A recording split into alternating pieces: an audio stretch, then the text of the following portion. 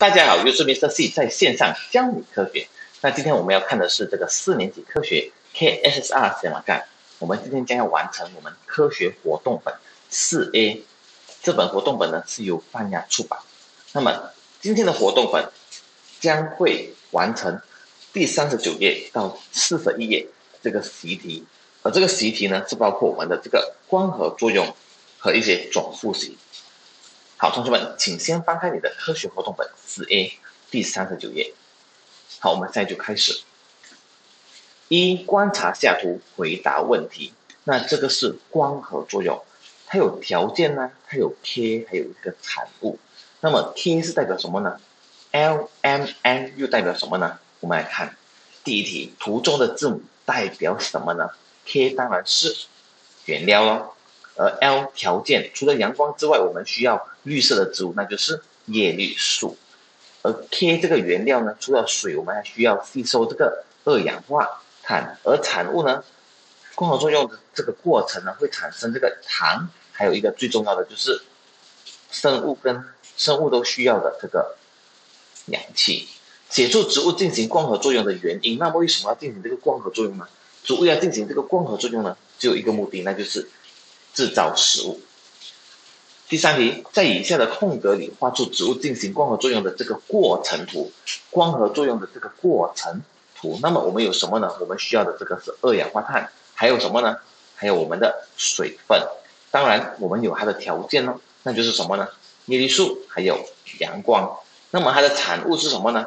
糖啊，还有一个就是大家都需要的氧气。第四题，如果植物无法进行这个光合作用。预测会对生物带来的两个影响。预测哦，猜它会带来什么影响呢？对生物有什么影响呢？第一个，空气中的氧气和二氧化碳无法保持平衡，那就是说可能二氧化碳太多，氧气越来越少，不能达到一个平衡点。那么第二个呢？人类和动物无法从植物中获取能量。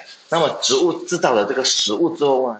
它有了这个能量，那么人跟动物吃的这个植物呢，就能获取这个能量。所以没有了这个植物的这个光合作用呢，那么植物将会死亡，那么人类和动物就无法从植物中获取这个能量。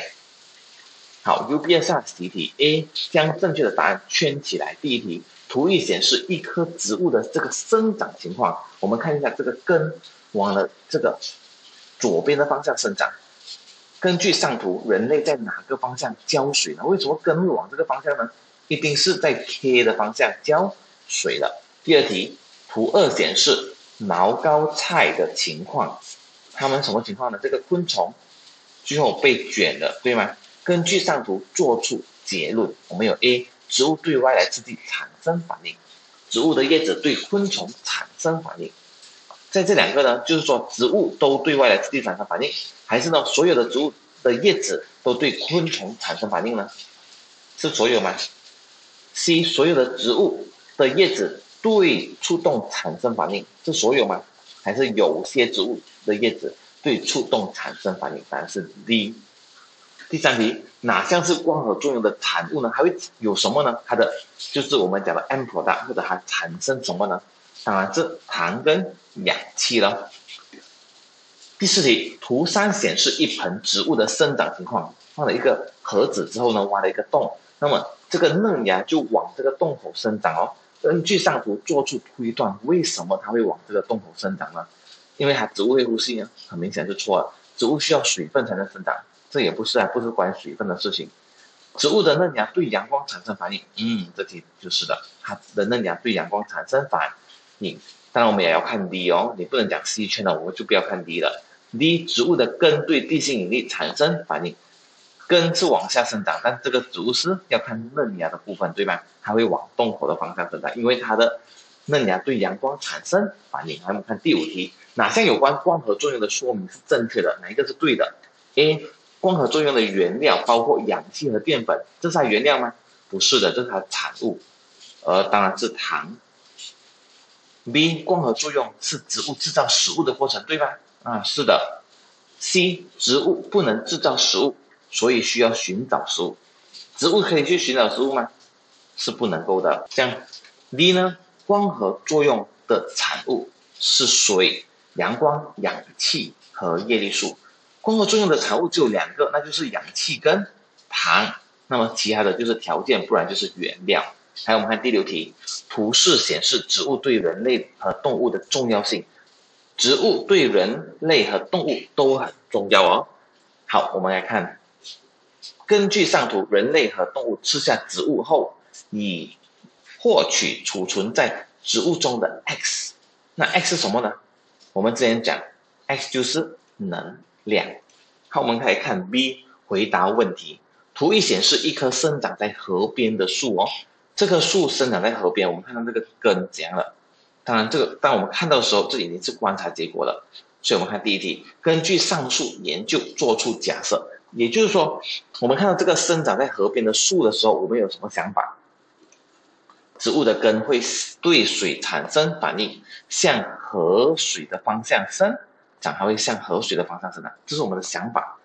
好，第二题，根据上述研究写出观察结果，那就是我们看到什么？我们看到植物的根向河水的方向生长。你看到假设吗？它写会对会，但观察结果呢？我们已经发生了，所以已经没有用会了。植物的根向河水的方向生长。第三，根据第二题的答案做出一个推断：为什么植物的根向河水的方向生长呢？为什么呢？因为植物的根对水产生反应。第四题，根据上述研究做出结论。那么结论是什么呢？植物的根对水产生反应，然后向河水的方向生长。好，第五题，根据第四题的答案写出这项结论对植物进行光合作用的重要性。结论是什么？结论就是植物的根对水产生反应，向河水的方向生长。那么这个产生反应向河水的方向生长。对我们光合作用有什么重要性呢？